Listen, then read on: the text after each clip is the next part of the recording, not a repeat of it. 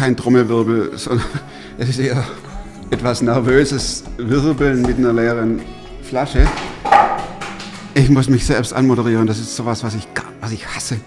Ähm, aber es waren so viele Leute, die sagten, hey, erzähl doch mal deine Geschichte und sprich doch du mal aus deinem Leben und du bist ja jetzt schon, hast eine gewisse Erfahrung und bla und blue und das und jenes. Und dann habe ich gesagt, okay, machen wir. Und äh, ich habe Bernhard gebeten, er ist Pastor in Gummersbach und habe ihn gebeten, stell mir doch Fragen. Informier dich, woher auch immer, guck, woher du deine Infos kriegst, aber von mir bekommst du nichts. Und er kam dann und äh, bis auf die vier Schlussfragen, die hat er natürlich auch. Ich muss aber dazu sagen, es wird eine Doppelfolge. Es wird einfach, sorry Leute, ne? es wird echt eine Doppelfolge. Ich hoffe, ihr schafft es. Und ich hoffe, es ist interessant und taucht mit ein in das Leben des Thomas M. aus dem Schwabenland. Und ich wünsche euch dabei nicht nur viel Spaß, sondern auch ein paar Aha-Momente. Klar bin ich einer, der gescheitert ist. Ich weiß nicht mal, was da läuft und was es ist. Ich bin in der Hinsicht im Moment ein bisschen privilegiert. Der Podcast mit Thomas Mayer. Natürlich denkst du dir dann erstmal, ja gut, der hat auch keine Ahnung. Oder was weiß ich. studiert noch Medizin. Ja. Leidet Das hat er im Bett, hat er eigentlich einen Hund draufgeschlagen. Egal wie abgedreht das war.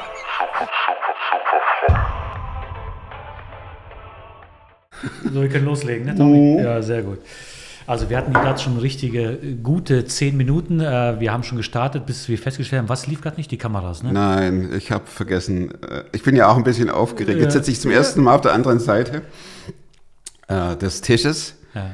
Ich weiß nicht, was auf mich zukommt und ich habe vergessen, hier äh, den Record-Button zu drücken. Ja, ja, ja. Äh, aber eigentlich ist das ja auch dein Job, fällt mir da auf, weil du genau, bist ja. also ich ne, habe also- auf der vollen Linie versagt. Tommy, wir haben gerade schon so im Vorgespräch oder wir dachten, es l- läuft ja schon so ein bisschen schon mal eingestiegen in seine Geschichte. Ähm, fangen wir mal ganz seichte an. Äh, wir sitzen hier im Oberbergischen. Ähm, äh, du bist ja nicht hier groß geworden. Genau, wo bist du groß geworden? Äh, wo bist du aufgewachsen? Also, du hörst an dem Seufzer. Genau. ähm, ich komme aus Stuttgart, das hört Ja. man immer noch, ist auch gut so. Wir sind jetzt 30 Jahre her, aber es ist gut, diese 30 Jahre. Am Anfang konnte ich mich nicht mitteilen. Es ist definitiv so. Wir, wir kommen wirklich, äh, meine Frau und ich, wir kommen aus dem tiefsten Schwabentum. Ähm, und wir kamen hierher und die Leute verstanden uns nicht. Und ich, ich habe hier studiert am Forum Wiedenes Theologie. Ja. Und da muss man sich vorstellen und dann, oh, war das so peinlich. Das sitzen die ganzen Studenten und die ganzen Lehrer und ich wusste, ich muss auch, weil jeder muss das sagen, warum er auf die Schule kommt und, und studiert und ich habe mich dann durchgerungen am zweiten Tag und habe dann erzählt und dann äh, unterbrach mich der Schulleiter und sagte, Herr Mayhöfer, wir verstehen kein Wort, können Sie nochmal loslegen und alles brüllte. Und dann musste ich nochmal, aber hat wieder Ja. keiner verstanden. Das war so peinlich und die Story, die wird mich mein Leben lang, zumindest hier, äh, was das Forum Wiedenest betrifft, begleiten. Also das war ein Schock. Und mittlerweile ist es immerhin so, dass ich, ich kann mich ausdrücken, ich kann mich mitteilen. Es, es funktioniert mittlerweile, aber am Anfang war es grauenhaft. Grauenhaft. Ja, krass. Polizeibeamter in äh, Süddeutschland, in Baden-Württemberg. Äh, wie kommt man dann nach, äh, ins Oberbergische an, die, an das Forum Wiedenest? Also meine Frau und ich, äh, wir hatten damals zwei Kinder und machten Urlaub. Das war so ein Urlaub, da war jeden Morgen gab es da die Möglichkeit, dass man eine Predigt anhört. An einem Morgen saß ich in der Predigt. Während der Predigt höre ich eine Stimme, sagt jemand zu mir, Also, wie sagt jemand? Also, okay. sagt jemand zu mir, Tommy, ich möchte, dass du von der Polizei gehst und ein Theologiestudium machst, um dann in den Dienst für mich zu gehen. So, diese Stimme war von deinem Nachbar, vom Prediger oder woher kam die Stimme? Ich dachte, sind, ich dachte echt erst, es kommt von den Jungs nebenan. Aber nee, die waren es die waren völlig beschäftigt mit sich selbst. Und ich gucke davor und denke, es hat keiner gesprochen, ich habe es gehört. So wie du jetzt mit mir sprichst, Ja. ich mit dir, wusste ich in dem Augenblick, das war Gott, der mit mir äh, gesprochen hat. Ja. Hattest du da Zweifel? War das wirklich Gott oder, oder wie? Nee. Oder war es in dem Moment so klar? Es war völlig klar. Bernhard, es war völlig klar, dass das Gott ist. Ähm, da gab es überhaupt keinen Zweifel. Es war kein heiliger Moment, so nix, nix. Es war einfach in den Alltag. Äh, Gut, es war eine Predigt, ähm, aber es war definitiv jetzt nicht eine Einbildung, schon gar kein Wunschdenken. Ich wollte das nie. Gar nie wollte Ja. ich. Äh, Das heißt, es kam auch äh, unverhofft oder spontan, oder? Oder hast du damit gerechnet, ich gehe jetzt in den Gottesdienst und ich höre gleich Gottes Stimme und weiß die Berufung für mein Leben? Bernhard, also erstens war das vor 30 Jahren oder noch Ja. länger, 32 Jahren. Äh, Erstens. Zweitens äh, gab das nicht solche Situationen, Momente, wo man Mhm. dachte, ähm, was will mir Gott jetzt sagen? Das, das kam in meinem Denken nicht vor, Mhm. Ja. äh, sondern da gehen wir hin und war halt in der Predigt. Ja. Ne, und, war, und guckt auf die Uhr und denkt, na, jetzt nur 20 Minuten und dann gehen wir eine Runde kicken. Also so war Ja. das. Ne? Ja. Und nicht, dass, dass man reingeht und sagt, ja, was hat mir jetzt Gott zu sagen? Das, das, das war für mich nie ein Thema, was Mhm. Gott mir zu sagen hat. Also für mich ist das absolut schon der erste, also mindestens der erste Goldnugget jetzt schon, dass Gott tatsächlich redet und zu einem Zeitpunkt, wo du es eigentlich gar nicht erwartest. Und dieses Ja. höre ich so oft, dass Gott unterschiedliche Dinge nutzt und plötzlich zu einem redet. Und ich höre das auch immer wieder, weil deswegen habe ich auch die Frage gestellt, war es für dich klar, dass das Gottes Reden ist? Hm, de- Und definitiv. Und äh, das erlebe ich oft, diese Antwort, ja, auf jeden Fall. Äh, Mhm. Da gibt es auch keinen Zweifel. Für mich ist das klar gewesen, so, ne? Oder in der Situation. Ja, für mich war das auch klar. Aber ich habe gesagt, Gott, wenn das du bist, dann muss das meiner Frau auch sagen, weil wir wollten nie, nie, nie, nie, nie so einen Job machen. Also äh, Missionar oder Ja. Pastor oder irgendwas. In der, das war nicht unser Ding, definitiv. Ne? Und ich habe gesagt, Gott, wenn du das wirklich äh, bist, dann musst du es mit meiner Frau auch klären. Ja. Und ähm, wir haben uns dann zwei, drei Tage später getroffen. Also getroffen, wir, wir wir wir, wer bist du denn? Tre- ihr habt euch ab und zu mal getroffen, ne? Nein, wir, wir haben da uns in den See gesetzt und haben ein bisschen gequatscht. Hm. Äh, zwei, drei Tage deshalb, weil ich, ich dachte, naja, vielleicht habe ich mir das alles eingebildet und dann ist es wieder wusch Hm. weg. Aber es war nicht so, sondern das war völlig klar. Und wir saßen da am See auf dem Bänkchen, Hm. sehe ich echt noch wie heute vor mir. Und ihr sagt, du, Schatz, ähm, diese Frage hat dir Gott etwas klar gemacht. Die habe ich tatsächlich gestellt, aber wie gesagt, da hatten wir nie mit gerechnet. Und dann fängt sie an zu weinen und sagte, ja, wir sollen in den, äh, wir sollen hier in den vollzeitlichen Dienst gehen. Hat sie gesagt. Ja. Dann haben wir beide geheult. Ja. Vor Frust. Ja. ja. Okay. Weg, weg aus, okay.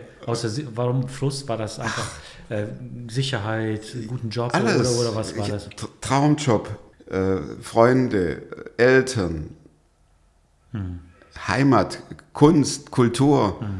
Es- einfach alles. Ne? Und du wusstest, du, wir wussten ja nicht, wohin es geht. Wie, wie, also, wie, wie kam es dazu, dass deine Frau auch sofort gesagt hat, wir müssen das machen? Hat Gott sie vorbereitet oder war, hat sie gedanklich da schon drin gewesen oder war das der Moment, wo ihr gesprochen habt? Das war der Klar, Moment. Ja. Also sie, es war wie bei mir, wir hatten da nie mit gerechnet und hatten auch nicht irgendwas geplant in der Richtung, sondern das war aus dem Nichts. Das wäre das Gleiche, wie wenn jetzt Gott zu dir sagt, in dem Augenblick, äh, pack deine Sachen und fahr nach Grönland. Da denkst du nicht dran. Aber da war es halt so. Ja, und dann, So, jetzt sind wir ja schon mitten in deiner Geschichte drinne und ich würde gerne mal ein bisschen zurückspulen, wenn es okay ist für dich ist. Ähm, also Gottes Stimme hören. du bist der Chef. Äh, Genau, ich bin der Chef und deswegen mache ich das jetzt einfach. Ich spule jetzt einfach zurück in Tommys Leben, weil mich das wirklich interessiert, äh, weil vieles ja auch so aus der Geschichte herauskommt, wie man groß geworden ist, in welchem Elternhaus, was man so mitbekommen hat, welche Erlebnisse man hatte. Wie war das bei dir? Du hast gerade gesagt, du hast Gottes Stimme gehört, das war ganz klar, dass es Gottes Stimme war. Deine Frau hat das auch sofort bestätigt. Äh, Das hat ja immer so eine Vorgeschichte. Du meinst, ich habe den ganzen Kindergarten evangelisiert und die Genau, das heißt, du Mhm. hast deine Eltern haben schon, schon alles dir Nix. beigebracht, wie man auf Gott hört, wie man Gar die Stimme nix. hört, wie man unterscheidet, ist das mein Gedanke oder wie bist du groß geworden? Äh, Ohne christliche Literatur. ja. Mein Umfeld war auch nicht fromm. Ich war so ein typischer, äh, ja, das Wichtigste war die Karre und Mädels. Und dann waren wir in so einer Pseudo-Gang drin, also die, die ähnliche Interessen hatten, wie es halt so ist. Ne? Und dann Schule war das Unwichtigste überhaupt und dann ist man halt an der, hat an der Karre rumgeschraubt und ist äh, Wochenende in die Disco oder in, in, in, in den entsprechenden Schuppen, wo was ging. Und vom Glauben hab, wollte nichts wissen. Das Einzige, was war, dass zwei Jungs in meiner Klasse ähm, fromm waren. Die haben mich ständig zum Jugendkreis eingeladen. Ich wusste nicht, was ein Jugendkreis ist. Die haben mir dann mal das erklärt so und dass man da singt und auf äh, Bibelarbeiten. Das war dann quasi, da schlägt einer die Bibel auf und hat sich vorbereitet, um dann den Text zu lesen und so und äh, seine Gedanken auszutauschen. Das, war, das ist ja völlig langweilig. Allein der Begriff Bibelarbeit. Stell dir mal ne? vor, mit 17. Geht Arbeit und. Bibel, ne? So zwei Sachen, die irgendwie als Jugendlicher gar nicht passen. Null. Ne? Aber dann war es halt so, dass ich äh, Stress hatte. Ja. mit äh, in- der City äh, äh, Stress hatte und musste ganz schnell weg, sonst ähm, Das heißt, du wäre es ganz übel ausgegangen auf der für mich. Flucht. Richtig. Ja. Ich, war, ich musste fliehen, musste weg und dann rannte ich dann oder ähm, ging ich schnell weg. Das, lassen wir mal so Mhm. die Details. Auf jeden Fall habe ich gedacht, was mache ich? Und dann wusste ich, heute Abend, Samstag, ist dieser Jugendkreis. Mhm. Und Ah, meine Kumpels freuten sich, als ich kam, die Da- gläubig waren. die gläubig waren, die mich immer einluden. Ja. setzte ich mich dahin und äh, dachte, oh Schande, was machst du hier? Aber ich war ja safe, ne, passierte nichts. Und dann ging die Tür auf und da kam eine Frau rein und ich dachte, das gibt's wohl nicht. Das war, boah, boah. Und da dachte ich, die Frau, also ich war unsterblich verliebt quasi, verliebt. Und äh, dachte ich, die Frau, die, die, die Coole Story. Also, eine Heute bin ich verheiratet mit ihr. Ah, okay. Also das also, ist- also mit Happy End sogar noch. ne? Mit super ja, Happy ja, End. super Happy End. Sehr gut. Mit super, super, super Ach, Happy cool. End. Also das wäre jetzt schon mal so, so ein Buchtitel, ne? Auf der Flucht die Liebe des Lebens Ah, gefunden ja, so. klar. Was mich Ja, natürlich, das- also mich interessiert natürlich die Flucht, ne? aber Tommy hat gerade schon gesagt, die Details kommen hier nicht in Nein. die Sendung rein. Nein, die sind nicht jugendfrei. Sehr gut. Die sind nicht jugendfrei. Nein, nicht, nicht alles muss man äh, vor der Öffentlichkeit erzählen, aber, Richtig. aber eine krasse Story, ne? so von Ja. der Flucht irgendwo rein. Äh, warum glaubst du, bist du in diesen, also du hast es gerade schon gesagt, aber in, in diesen Jugendkreis da reingelaufen? Also weil es da am sichersten war. Ich war safe. Ja, Das ist, so, das, das ist einfach so das, ähm, die Begründung. Ich war safe. Ähm, und dann natürlich die Lady dann gesehen und dann wusste ich, so, ich ging ja nächsten Samstag wieder hin. Das Problem war nur immer, wenn die den Raum betrat, hatte ich so eine Bombe. Völlig unüblich. verliebt halt, ne? Ja, total. Und jeder wusste, oh, der Tommy. Und, ja. ja. und dann habe ich herausgefunden, dass sie in ihren Ferien, die ja sechs Wochen gehen im Sommer, vier Wochen in einem Hotel mitarbeitet, auf dem so äh, eine christliche Urlaubszeit stattfindet, auch, also mit Predigten und so weiter auch. Und die würde da vier Wochen mitarbeiten in der Küche und würde bedienen und einfach so, ne? Für lau. Und ich dachte, wie doof ist das denn? Aber ich wusste, das wäre eine Chance, die Frau besser kennenzulernen. Ich wusste aber nicht, in welchen vier Wochen die geht, also habe ich mich einfach sechs Wochen angemeldet. Okay, also viel Geld investiert und viel Zeit. Äh, Geld nicht, aber viel Zeit, weil Okay. äh, den Urlaub, du, du musstest ja arbeiten. Ach, okay. Ach so, mit, mitarbeiten. Mitarbeiten, okay. ja, ne? Ja, okay. Mitarbeiten. Und Ja. dann, in den ersten 14 Tagen war sie nicht da. Ey, Und in den ersten zwei Wochen äh, habe ich Jesus kennengelernt. wo sie nicht da war. Wo sie nicht da war, habe ich Jesus Da kennengelernt. würde ich gleich mal reinzoomen, aber erzähl mal kurz zu Ende noch. äh, und habe ähm, ihm mein Leben anvertraut. Habe hab verstanden, wer Jesus ist, dass er für Mhm. mich gestorben ist am Kreuz, meine Schuld und Sünden vergeben sind, dass er den Weg für mich in den Himmel frei gemacht hat. Und das hat mich so berührt und getroffen, Mhm. dass ich Jesus gesagt habe, okay, äh, an dich glaube ich, du bist mein Herr, du, du, gehst, du bist der, der äh, mich erschaffen hat Mhm. und, an, und, und, und ich will dir nachfolgen. Okay, das hört sich Und su- zwei Wochen später kam sie, ja, um das abzurunden. ja. Und da habe ich ihr gesagt, dass ich sie liebe und sie hat gesagt, super, nein, also ab da waren wir zusammen. Ja, genau. Okay, du hast auch direkt gefragt, oder Ja, willst klar. du mit mir gehen? Ja, nein, vielleicht, oder Nein, ich habe gesagt, ich liebe dich und Mhm. äh, ich will dich heiraten.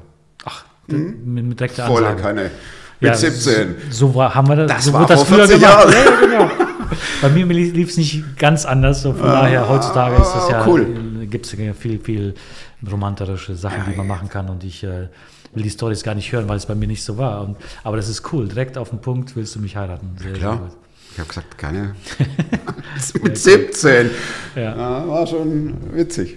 Ja, die äh, interessant finde ich, die, also du bist da reingeflüchtet in diese Jugendgruppe, ne, wie wichtig Beziehungen sind, ne, äh, um auch den Glauben zu teilen. Eigentlich geht es um Beziehungen. Vielleicht ist es primär gar nicht so, dass Menschen jetzt den Sinn des Lebens suchen, aber über Beziehung auch Gott kennenlernen. Kannst du das so sehen für dich? Oder war das so der wichtigste Punkt, dass du einfach Leute hattest, die an Gott glauben und dich einfach mit reingenommen haben? Also Bernhard, bei mir war alles anders als so lehrbuchmäßig.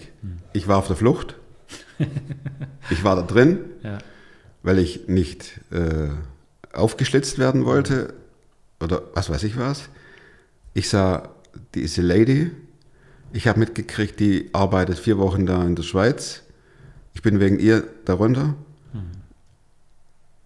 und habe in den ersten zwei Wochen Jesus kennengelernt. Also es, es ging nicht über Beziehungen. Das Einzige, was eben vorteilhaft war für mich, war, dass ich wusste von meinen beiden Freunden, dass sie sich samstags treffen. Ne? Also sagen wir es mal so, Gott hat schon echt äh, coole Wege. Gell? Ja.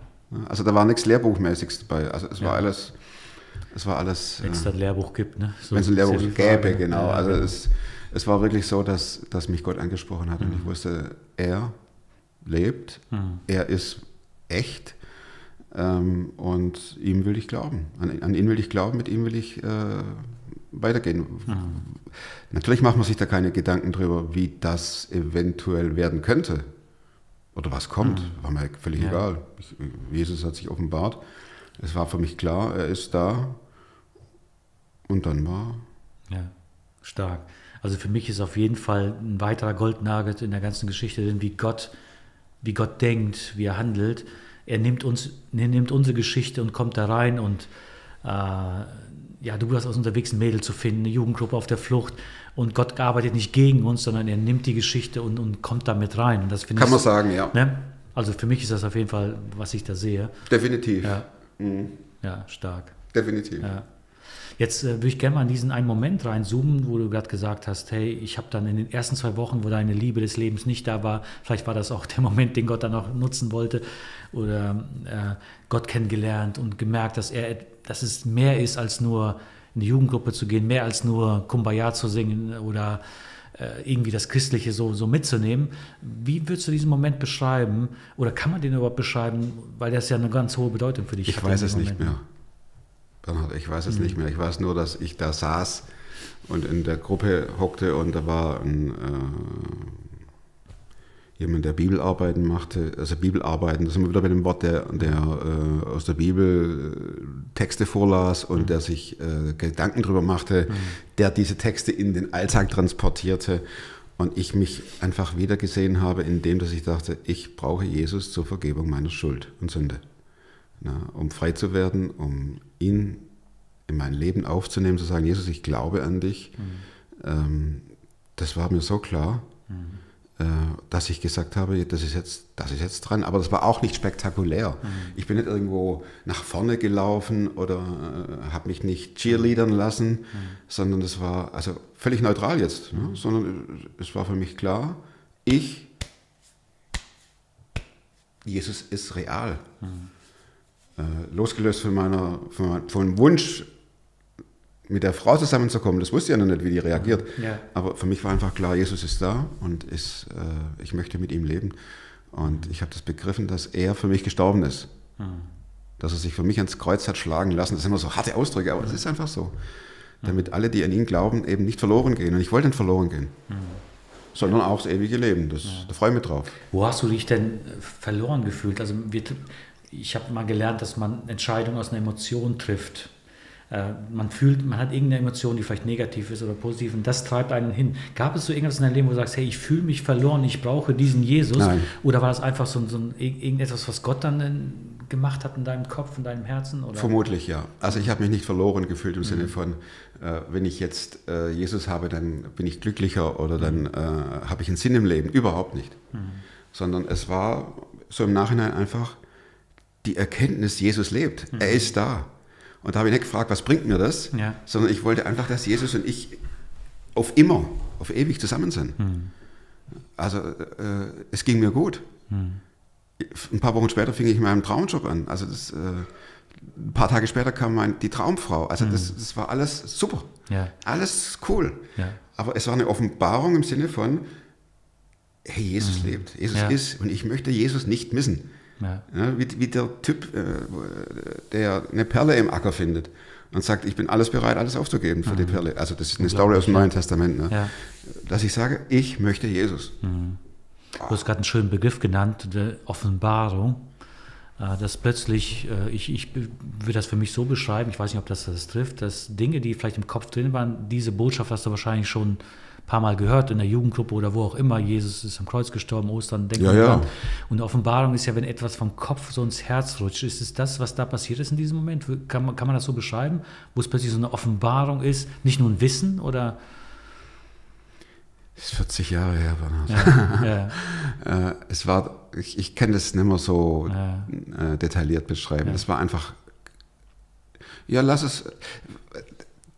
Ich, also vor 40 Jahren war das nicht so, dass man sagte, ich habe was im Kopf, ich habe ein Kopfwissen Ja. und das muss ins Herz, sondern äh, das waren, das sind Vokabeln, die heute eher äh, gang- zu Recht ne, äh, gebraucht werden. Für mich war es einfach klar. Ja. Ich habe es begriffen. Cool. Ich brauche ihn. Ich möchte ihn. Er will mich. Wir wollen zusammen unser Leben gestalten. Äh, leben. Er will es gestalten. Er will mich führen. Und ich habe gesagt, Jesus, ich gehe dir hinterher. Ja. Du zählst für mich. Ja. Ich will auch keine Schablonen drüberlegen, so Nein. wie das so ist. Ne? Ich, ich versuche das zu ver- weil ich immer merke, es ist schwierig, diese Momente, diese Offenbarungsmomente in Worte zu fassen. Ist so. so, das zu transportieren, dass die Leute, okay, jetzt verstehe ich das. Das sind einfach Momente, die einfach zwischen dir und Gott oder zwischen einem, Ist Menschen so. Gott irgendwie stattfinden. Ne? Äh, und deswegen versuche ich das mal ein bisschen rauszukitzeln, weil, um das verständlich zu machen. Vielleicht ist es gar nicht erklärbar mit dem Verstand alleine. Ne? Ich tue mich schwer, mag's ja. Ähm, es war auf jeden Fall so eindrücklich, dass es immer tiefer wurde, die Beziehung. Bis heute. Ja. Wie hat dein Umfeld reagiert? Eltern, weiß ich nicht, Freunde, dass du deinen Job aufgegeben hast als Beamter und dann irgend so was Verrücktes hier machst? Das war schon crazy. Ja, die sagten schon, geht's noch? Beamter auf Lebenszeit, unkündbar, toller, toller Job und so weiter. Aber äh, wir konnten ja auch nur sagen, dass uns Gott es klar gemacht hat in, in, in, in ganz bruchstückhaften Abschnitten und Sätzen. Ne? Und wir sagten, Leute, es ist total crazy, es ist total, es ist Wahnsinn. Aber es hat, es hat halt Gott gesprochen. Und das Coole war, dass die Leute sagten, okay, wenn das bei euch so ist, dann, dann nehmen wir euch das ab. Ihr seid für uns authentisch. Wir, wir sagen, das ist zwar verrückt, aber wir stehen hinter euch. Ja, Und das war, das war schön. Ne? schön. Ja, Und dann waren wir wieder in STO. ja im Oberbergischen. Im Oberbergischen. Sehr, sehr. Ja. Und die erste, der erste, die erste Woche, in der wir da waren, äh, völlig langweilig, alles, boah, schrecklich ich sitz, ich liege auf dem Sofa, weil das hat mich alles so erschlagen und in dem mhm. Augenblick macht es draußen vor dem Fenster. Bop, bop, bop, Dann gucke ich raus und dann ist Sondereinsatzkommando, dass ich abseilt und eine Übung okay. macht. Ich habe geheult, ich dachte, Scheiße, was machst du? Da könntest du jetzt äh, drinnen sein, wieder in dem mm, Heli. Naja. Ja. Naja, aber jetzt sind wir hier. Ja, ja. So, dann fing ja so deine christliche Karriere richtig an, wahrscheinlich. Ne? Äh, Ich habe dich kennengelernt auf einem, ich war, ich weiß nicht, 18, 19, Tommy, auf einem christlichen Seminar. Da ging es um, um Leiterausbildung für, für Jungschar, irgendwie sowas. Und da kamst du hin. Und das war so der erste Moment, an den ich mich erinnert habe, wo wir nochmal jetzt in Kontakt gekommen sind. Woher kenne ich den Tommy eigentlich? Und das war eine Situation, die ich dann gesehen habe. Und da warst du so ein, und bist du immer noch ein christlicher Star, der Tommy Meyerhöfer. Du hast ein paar Projekte gehabt. Du warst auf jeden Fall in der christlichen Szene bekannt. Ich weiß nicht, deutschlandweit oder regional auf jeden Fall. Ich glaube sogar deutschlandweit. Da habe ich dich so kennengelernt. Genau. Was hast du nach der Bibelschulzeit, nach der theologischen äh, Zeit gemacht? Was war so dein, dein, deine Leidenschaft und was, wie lief das dann so weiter? Nach der theologischen Ausbildung war ich einige Jahre äh, in einem sogenannten Missionswerk beschäftigt. Also das ist, ein, das ist äh, eine Arbeit, die Menschen betreut, begleitet, die im Ausland arbeiten, entweder äh, als Pastor oder im Krankenhaus oder in technischen Berufen. Die begleiten die. Und denen war es wichtig, dass sie sagten, Mensch, wir müssen mehr Transparenz schaffen, wir brauchen mehr Filmaufnahmen und Fotoreportagen von unseren Leuten da unten. Und dann hatten die mich gefragt nach der Ausbildung, machst du das, willst du das? Und habe ich gesagt, ja klar. Ähm, Und ich habe entdeckt, dass diese Menschen sich im Ausland wirklich mit der Kultur auseinandersetzen, um ihnen den Glauben nahezubringen. Und ich habe so für mich immer gedacht, wenn ich hier in Deutschland unterwegs war, dass ich dachte, Leute, es versteht kein Mensch, was ihr hier redet. Eure Predigten, die sind sowas von, die sind sowas von, äh, die gehen am, am, am Leben vorbei. Aber ich hatte ja keine, ich hatte ja keine Vergleiche. Ich, ich war ja immer noch der, der irgendwo herkommt und nicht weiß, was so läuft in der Christ. Ich hatte keine Ahnung von der christlichen Szene. Und ich habe nur gedacht, wenn ich die Predigten hörte, dachte ich, versteht keine Sau. Entschuldigung, Schwabe, kommt durch. Versteht kein Mensch, geht nicht. Geht überhaupt nicht. Und das, das ist dir so bewusst geworden, wo du andere begleitet hast, die in anderen Ländern waren. Richtig. Und äh, ähm, Ich dachte, warum verstanden ziehen- haben, die Kultur zu Du, ich dachte, warum ziehen die sich so an? Die haben solche, Pakistan, solche Frack. Ist aber Kultur. Ja. Würde ich nie so rumlaufen in Deutschland, aber in Pakistan oder Tansania oder in Nepal, wo sie überhaupt unterwegs sind. Und hier dachte ich, haben wir eine Kultur, die genau das praktiziert. Wir ziehen uns anders an, wir reden anders und wir haben gar kein, ähm, das meine ich nicht pauschal. äh, Es, es, ich hatte den Eindruck, als ob wir nicht uns bemühen, uns nicht bemühen, die Leute zu verstehen, die um uns herum leben und die vom Glauben genau, keine Ahnung obwohl wir haben. in der gleichen Kultur So ist es. äh, sind. Und das war für mich der. Punkt, dass ich sagte, Leute, da muss eine Veränderung her. Ja, okay. Das ist das, was dich so angetriggert hat. Ja. Und wa wa was hast du damit gemacht mit dieser Geschichte? Ich, hab, ähm, ich, ich wurde gefragt von einer äh, weiteren christlichen Arbeit. Ich, wie du sagtest, ich war langsam so ein bisschen bekannt in der Szene und äh, habe dann eine Arbeit gegründet, die heißt, die hieß, die gibt es heute nicht mehr, Nightlight Station. Äh, und zwar hat die sich komplett auf das fixiert, was ich eben sagte. Wir gingen ins Radio. Ich war fünf Jahre lang äh, ein Nachtfalke im Radio, RTL Luxemburg. Also Tommy ist für mich so der christliche Domian gewesen. Ich weiß nicht, ob ihr Domian kennt. Der hat in 1 Live, glaube ich, diese Sendung gemacht. Ja, Im genau. christlichen WDR. Bereich warst du das, ne? Also nachts konnten Leute anrufen und was Genau. und irgendwie ihre Sorgen teilen oder was ja, auch immer. also ich habe einen, so einen kurzen Einstieg gemacht, über den Glauben gesprochen, einen kleinen Bibelvers vorgelesen Ja. und habe gesagt, es könnt ihr anrufen. Und kamen Anrufe, manchmal kamen auch keine, aber je nachdem, dann spielt man halt Musik. Mhm. Und da habe ich mit den Leuten geredet, das war so eine Sache. Das andere ist, dass ich auf Events gegangen bin, auf nicht-christliche Events, Love Parade und so weiter. Okay. Und äh, habe da Flyer verteilt und habe mit den Leuten geredet, wir haben Straßenpredigen gemacht und so weiter. Einfach mit denen gesprochen, was Sache ist. Äh, warum man glauben soll. Ich habe christliche CDs produziert, haben die verschenkt und war auch bekannt dann in den Medien. Ja. Wow. Also ich sehe hier viele Gold Nuggets, aber ein Gold Nugget finde ich, äh, also der, der glänzt für mich total. Du hast etwas gesehen, was du denkst, das kann so nicht sein, dass wir, die, dass wir predigen und die Leute verstehen das nicht. Ja. Und du hast nicht das nur, du hast nicht nur kritisiert, sondern du bist losgezogen und hast gemacht. Und ich glaube, das ist ja so ein Goldnagel, nicht zu sagen, hey, ich sehe eine Not und ich bin, ich bin auch nicht eine, ich bin eine Antwort auf die Not und äh, du bist losgezogen. Wie kann ich mir das vorstellen? Auf der Straße gepredigt mit der Bibel in der Hand? Nein, und, nein, nein, und, nein, wo nein, Leute nein, dann nein, nein, vorbeigehen der oder, oder wie hast du das gemacht? Der Typ bin ich nicht. Also das, äh, das gibt sicher Leute, die das können. Ich Ja. kann es nicht und ich will es auch nicht. Ähm, äh, für mich war äh, die Sache immer die, dass ich Leute nicht überfordere und ihnen quasi äh, die biblische Botschaft um die Ohren haue. Das Mhm. mache ich nicht, auf gar keinen Fall. Äh, sondern ich, mir war es wichtig, dass ich die, oder mir ist es wichtig, die Leute ernst zu nehmen in ihrem Umfeld. Mhm. Und wenn ich unterwegs war auf einer Love Parade oder irgendwas, dann findest du Leute, die sind zugedröhnt, zugefixt, alles. Mhm. Und die brauchen jetzt mal Hilfe. Und dann sprichst du mit denen und dann gibst was zu trinken oder, ähm, ja. Also äh, ich will es jetzt nicht auf den sozialen Aspekt runter äh, reduzieren, sondern mir ging schon auch äh, darum, dass ich denen als Christ begegne und ihnen auch sage, warum ich glaube. Ja. Und das war am Radio so und das war im Internet so, weil wir auch gleich dann eine größere Internetplattform anboten. Und das war auch im Radio halt auch so, ne? dass ich, dass ich die Leute einlud, einfach um zu hören und nicht zu verurteilen. Und das geht ja gar nicht. Ja. Ne? Sondern die, die, die glauben halt nicht. Das sind deswegen keine bösen Menschen, sondern die, das sind Ja. liebevolle Menschen, wunderbare Menschen. Das sage ich nicht einfach so. Es, die, die Menschen, und das ist das der Punkt, die haben alle eine Geschichte. Alle, Ja. alle. Und die Geschichte kennen wir nicht. Und wieso soll ich da kommen und gleich so der fromm christliche Dampfhammer draufhauen, Mhm, gut. dass alles, dass alles hier kein Problem ist? Nee, nee, nee, nee. Ja. Erstmal, erstmal, aller ja. Ruhe.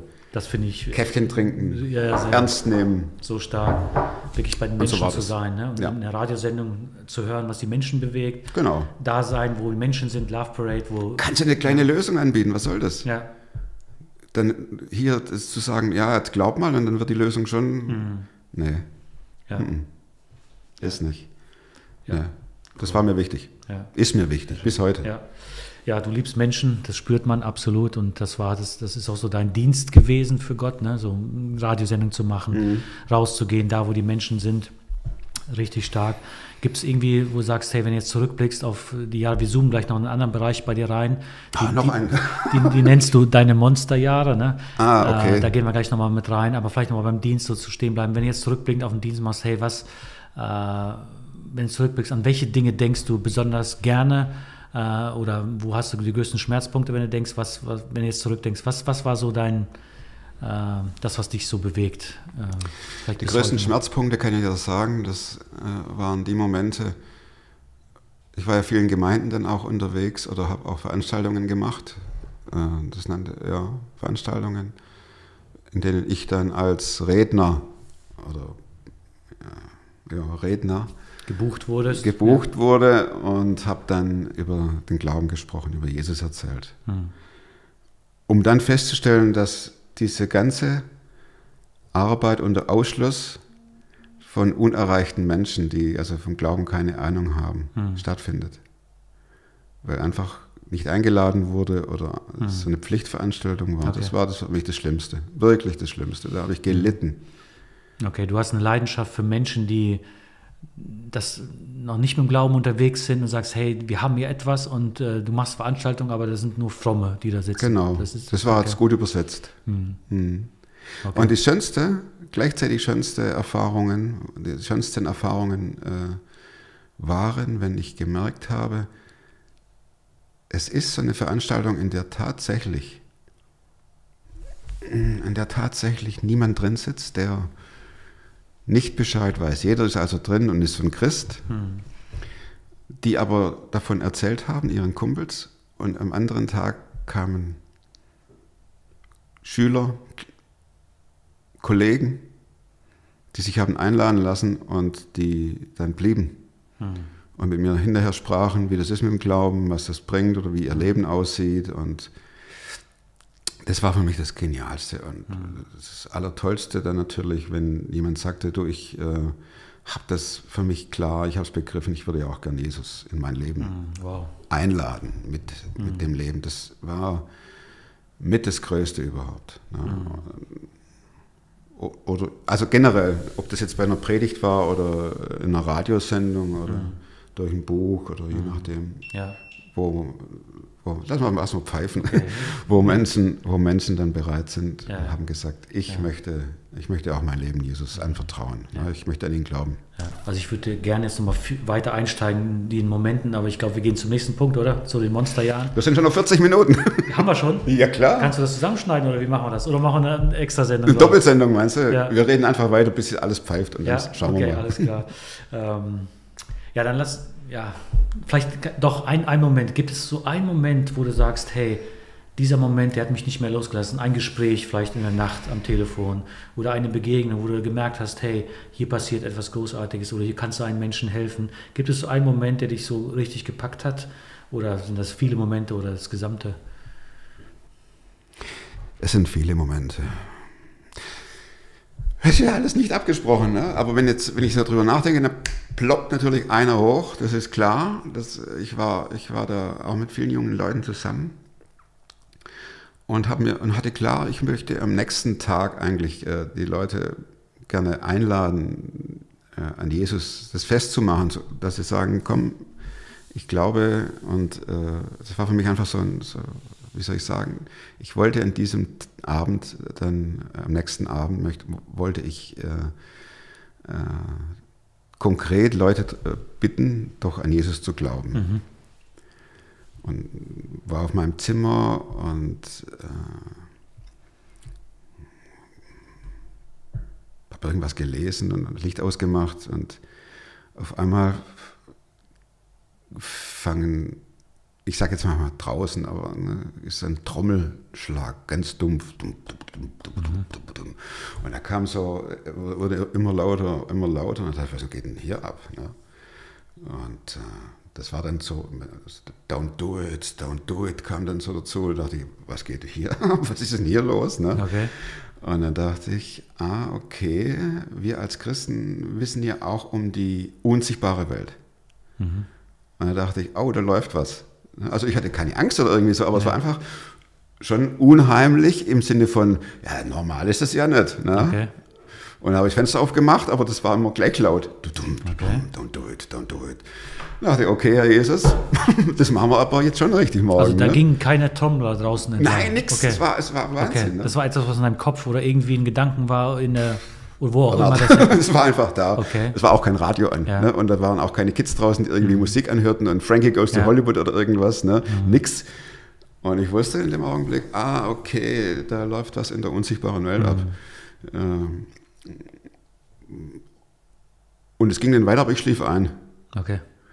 Und ähm, habe damit auch jetzt nicht irgendwie das äh, groß angekündigt, gar nicht, ne? sondern ich habe dann am anderen Abend gepredigt und habe gesagt, Leute, wenn ihr jetzt euer Leben Jesus anvertrauen wollt, wenn, ihr, wenn ihr für euch klar habt, das, was wir bisher gehört haben, das ist real. Und nicht, weil der Nachbar sagt, das müsst ihr machen oder weil ich sage, das müsst ihr machen, sondern weil Jesus zu euch gesprochen hat, dann macht es klar mit, euch, mit ihm. Sagt Jesus, ich glaube an dich, ich möchte dir gehören. Und das war schon nichts Großes. Und äh, habe gesagt, wenn ihr, dann, wenn ihr mit mir reden wollt drüber, dann können wir das jetzt machen oder so. Dann steht der halbe Saal auf Wow. ne, und kommen nach vorne und ich dachte, das gibt's ja gar nicht. Und ich wusste dann, okay, das war ein Zusammenhang. Ähm, Cool. so, das war so ein Erlebnis. Ne? Ja, Hammer. Ja, unglaublich. Ja. Also, was man rausspürt bei dir, Tommy, äh, in christlichen Kreisen nennt man das Evangelisten. Also du, du liebst es, das, was du auf dem Herzen hast, was Gott mit dir gemacht hat, weiterzugeben. Dafür brennt dein Herz, dafür hast du dein Leben investiert, deine Jahre investiert. Bist du vom Polizisten zum äh, Theologiestudenten geworden und danach ist es weitergegangen. Und das, was du jetzt erzählst, ist für mich ein absolutes Goldnugget. Also man kann, man, alles hat seinen Preis und äh, Das ist so. ja. diesen halben, der halbe Saal, der aufgestanden hat, der hat eine Vorgeschichte. Und die Vorgeschichte hast du gerade so ein bisschen reingezoomt, äh, aber auch viele Entscheidungen, die du vorher getroffen hast, dass du sagst, hey Gott, ich bin bereit und ich will, dass Menschen es verstehen. Und mir ist es nicht egal, dass sie irgendwie in der Kirche sitzen und nichts verstehen. nichts verstehen, genau. Und da sind ja viele, viele Jahre vorgewesen und das hat ja auch immer einen hohen Preis. Und das ist für mich so ein Goldstück. Wir kriegen nichts umsonst, es gibt nichts zum Nulltarif. Äh, aber es lohnt sich, oder? Mhm. Würdest du sagen, da weiterzugehen? Ja, definitiv. Also Ja. es, wie gesagt, ich bin nicht der, ähm, nicht der Typ, der sagt, äh, glaube an Jesus und alles ist gut. Ja, Das ist nicht so. Richtig. Äh, sondern du lebst mit deinen Schwächen, du lebst mit deinen Herausforderungen, du lebst mit deinen Krankheiten. Ähm, aber letztendlich ist es schon so, dass ich dick und fett unterschreibe, ich bin dankbar für diesen Weg. Ne? Äh, ich weiß nicht, wie der Polizistenweg weitergegangen wäre. Wür- Würde ich, wäre ich erschossen worden? Das war die RAF-Zeit, die Terroristenzeit seinerzeit. Wow.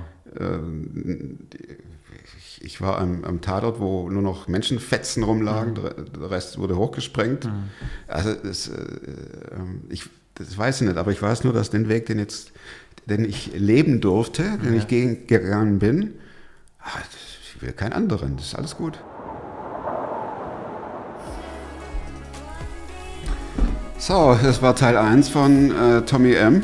Und äh, nicht Bonnie M, sondern Tommy M. Und nächste Woche kommt die zweite Fo Folge, Fortsetzung. Mir bleibt die, wenn man so lang spricht, mir bleibt die Sprache weg. Nächste Woche Teil 2, das geht dann um die Monsterjahre.